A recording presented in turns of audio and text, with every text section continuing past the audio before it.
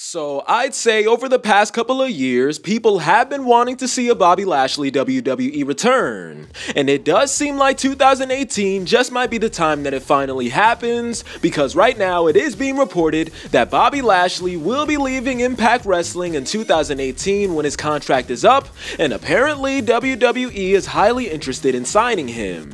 Now, it does seem like Bobby Lashley's Impact Wrestling contract will be ending in the middle of 2018, so when can we see Bobby Lashley back in WWE? I would say maybe around May or June. Like I said, the details about his contract and when it's going to be ending, that's a bit blurry right now. We have to wait for more information to come out, but the only thing that we know right now is that Bobby Lashley and WWE are currently in talks for Bobby to return. Now, how do you want to see Bobby Lashley booked if he does return to WWE? Do you want to see him on SmackDown Live? Do you want to see him as a full timer, a part timer? Be sure to let me know, man. But as the reports come in, I will drop more update videos on this channel so you guys can stay up to date. But right now, that's pretty much all I really have for you guys in this video. But thank you for watching it. Be sure to like, definitely subscribe for more WWE videos every single day. But anyways, guys, I'll be talking to you later. Peace.